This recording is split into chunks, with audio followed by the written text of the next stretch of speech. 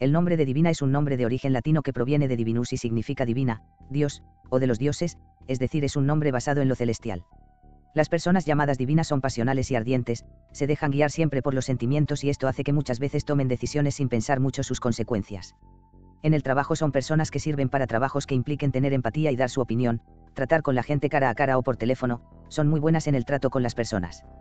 En el amor son ellas mismas en todo momento, pasionales, detallistas, sentimentales y buscan lo mismo en su pareja, alguien que las cuide y esté pendiente de ellas en todo momento demostrándole sus sentimientos, estas personas son más de relaciones a largo plazo. En las amistades no suelen tener gran cantidad de amigos, pero a los pocos que tienen les cuidan y conservan durante muchos años, se les define como amigos de sus amigos. Recuerda que te ofrecemos vídeos nuevos todos los días, suscríbete al canal de YouTube ahora.